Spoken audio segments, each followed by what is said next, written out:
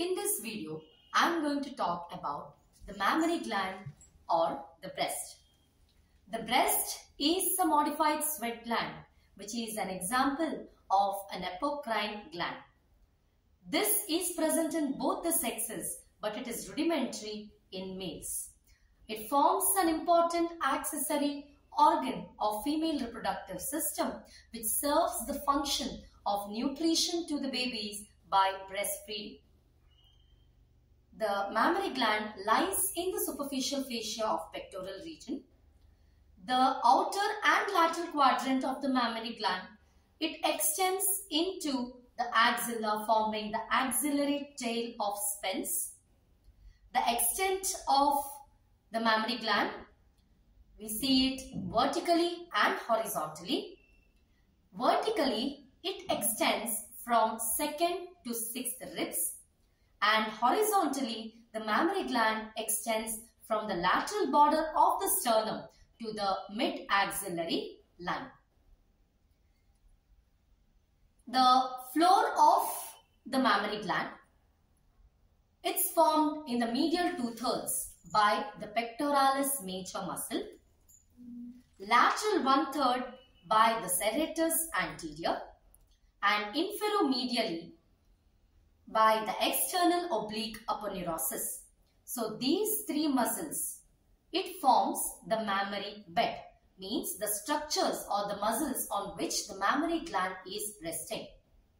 So these structures, that is pectoralis major, serratus anterior and the external oblique aponeurosis, it is separated by the breast tissue by means of a space that is called as retromammary space.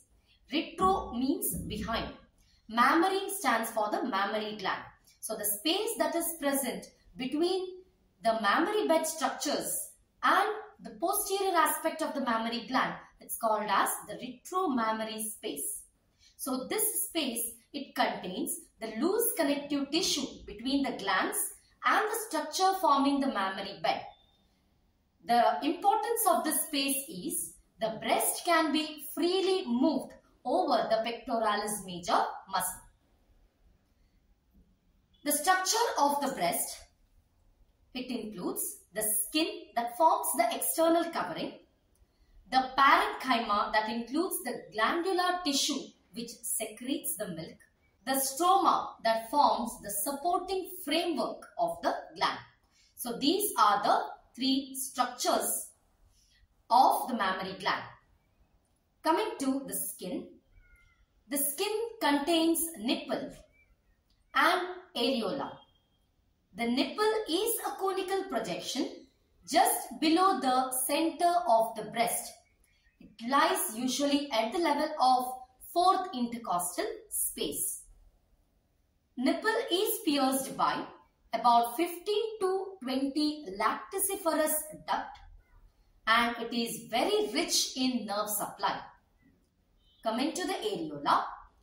Areola is a pigmented region of skin around the base of the nipple and contains the modified sebaceous glands, sweat glands and accessory mammary glands.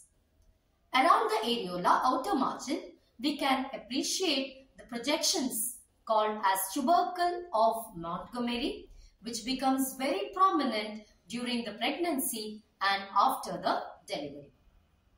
Coming to the parenchyma. Parenchyma contains the glandular tissue and this glandular tissue contains about 15 to 20 lobes and each lobe it contains the cluster of alveoli that drains or it is drained by the lactiferous duct. The lactiferous duct as it reaches near the nipple, it shows a dilatation that's called as the terminal dilatation which is called as lactiferous sinus. And this, the lining epithelium, it changes depending upon whether the gland is resting or it is active. In the resting phase, the gland is lined by the cuboidal cells. During the lactation, the shape of the cell changes from cuboidal to columnar and surrounding these glands there are something called as myoepithelial cells. Coming to the stroma which is a fibrofatty tissue. The fibrous stroma it comprises or it forms the suspensory ligament of Cooper which anchors the skin and the gland to the pectoral fascia. As the age advances, these fibrous tissue becomes weak, of which the mammary gland slightly descends down. It becomes loose. Coming to the fibro, fatty stroma, it is distributed all over the breast except beneath the areola and the nipple.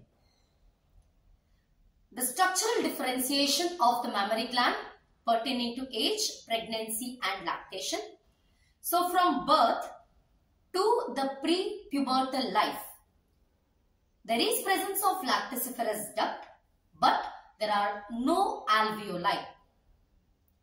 At puberty, ducts undergo profuse branching and peripheral branches it forms solid spheroidal masses of cells. That means there is proliferation of alveoli. So in pregnancy, the proliferation and epithelial growth of the terminal ducts takes place. Lobes, it increases in number and alveoli also increases.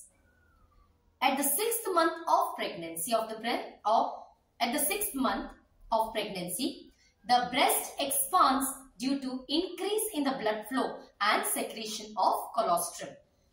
Milk secreted in the later part of pregnancy and for a few days after the parturition that is called as colostrum. So this colostrum is rich in nutrients, contains the fat globules and colostrum corpuscles. The true milk secretion starts after few days after parturition. The, during lactation, the alveoli is distended with milk and during this time the alveoli is lined by the cuboidal cells in resting state or columnar cells in lactation. After the lactation, when the lactation stops, the alveoli shrinks in size and the remaining milk is absorbed and glandular tissue it returns back to the resting condition.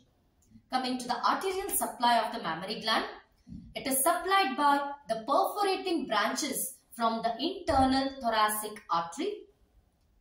This internal thoracic artery is a branch given by the subclavian artery.